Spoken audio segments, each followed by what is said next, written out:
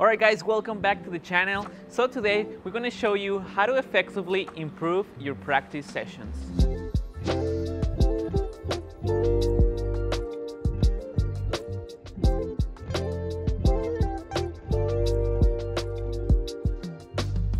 Alright guys, so if your practice consists on coming to the bowling alley and simply just throwing a bunch of strikes, getting lined up and trying to score 300 every game, you're probably not getting the most out of your time. Practice should be focused in order to improve your skills, learn new skills, and then master them. Today we're gonna show you different tips and tricks that you can use to improve your practice time. Alright guys, so the first thing we're gonna talk about here is warming up. So it might be really easy to just come straight to the bowling alley, put your bowling shoes on, and throw the first shot full speed. It might work for some people, but in reality, you will want to get your body ready to perform. So we're gonna show you my favorite warm-up exercise to do before I practice. All right guys, so the first thing that I like to do before I practice or I come to a bowling center is to get my joints moving. So my favorite exercise to do is simply doing like arm circles. So I would do this for like 20 seconds in one direction and then I'll just do another 20 seconds on the other direction until I feel like my shoulders are feeling more warmed up. A personal favorite that I like to do in order to warm up kind of like my wrist is simply getting my arms in front and do wrist circles. 20 seconds one way, then I will switch it up once those 20 seconds are passed. Alright guys, so the exercise that I like to do when it comes to warming up my legs are lunges. These are great to start getting your legs ready because at the end of the day, all the power comes from the legs. So finally, the only thing that I need right now is to get my heart rate a little bit up. So one great exercise to achieve this is simply doing jumping jacks. This is a great exercise to simply get you ready. All right guys, so the second thing that we're gonna talk about here is drills. So drills are exercises that focus on a specific aspect of your game. Also, it's a great tool to start getting you warm up. So another reason what drills are really important is just help you keep your fundamentals in check.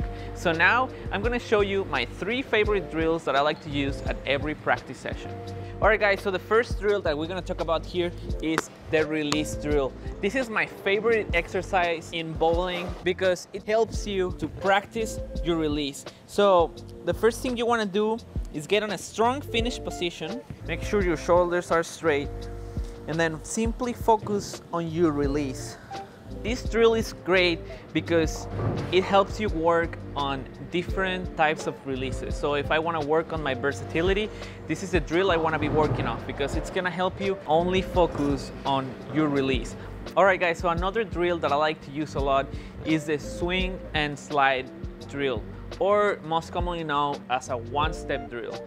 So this one is a great tool for, again, practicing your release, but also we are adding one more step to work on your swing. So we're gonna set up, we're gonna leave a little space, like one and a half steps before the foul line.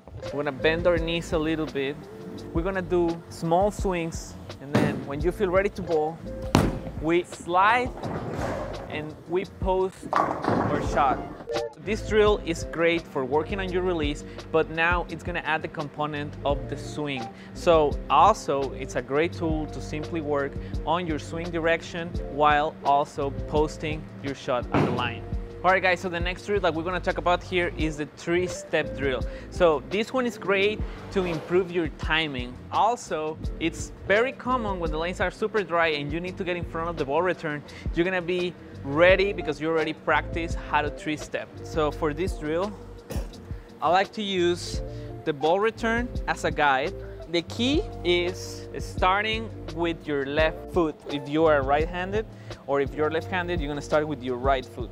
So again, this drill is great for getting your timing right, for practicing your three-step approach. Also, you're building up. You start with no step, add one step, then go to the three-step, and then your body is ready to go into a full approach.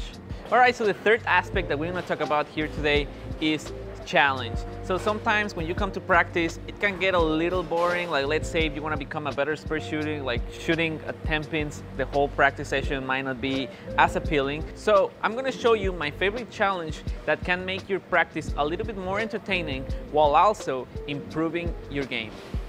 All right, so the first challenge that I like to do at practice are spare cycles. So the spare cycles are simply a way of shooting different spare combinations that you are gonna encounter. So the way it works, first you're gonna go with the pins in the back row. That means 7, 8, 9, and 10. Then you're gonna move up to 6 and 10 and 4, 7, and lastly, you're gonna go to the 3, 6, 10 and the bucket.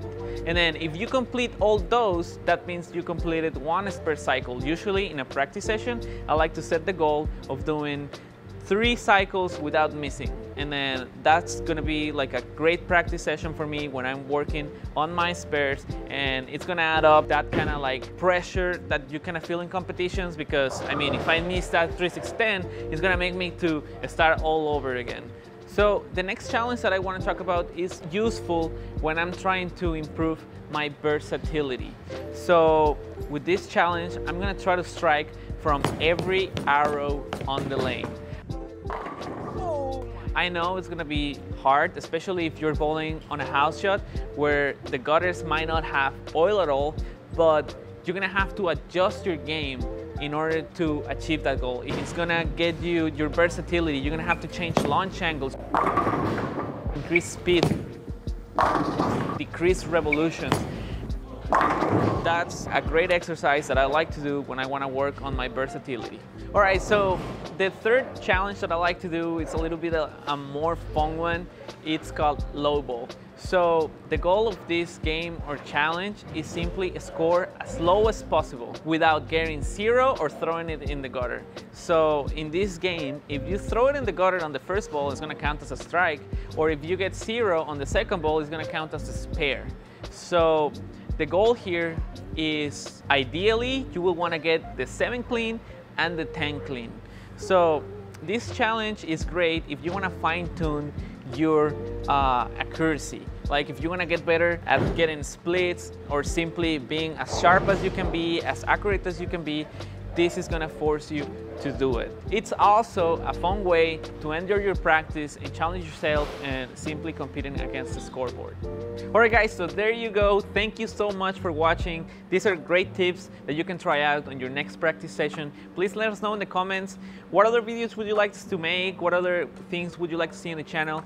Thanks again, and we'll see you on the next video.